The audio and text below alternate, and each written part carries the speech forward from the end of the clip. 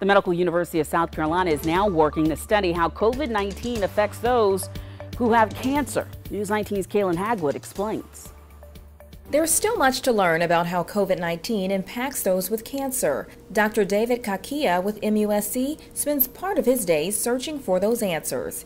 The hospital system has joined the National Cancer Institute to study the effects of COVID 19 on different patients. The study is trying to determine are there, for example, certain cancer types that make you more prone to develop COVID. Um, what are the outcomes uh, once you develop COVID if you're actively being treated um, uh, for cancer?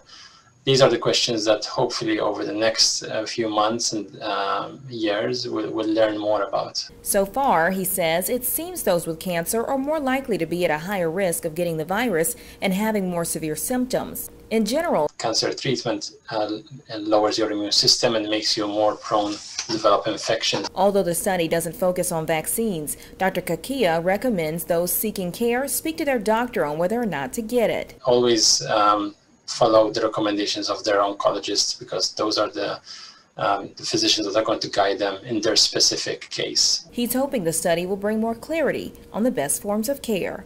For the News 19 vaccine team, I'm Kaylin Hagwood. Dr. Kakia says those interested in participating in the study can speak to their oncologist about ways to get involved.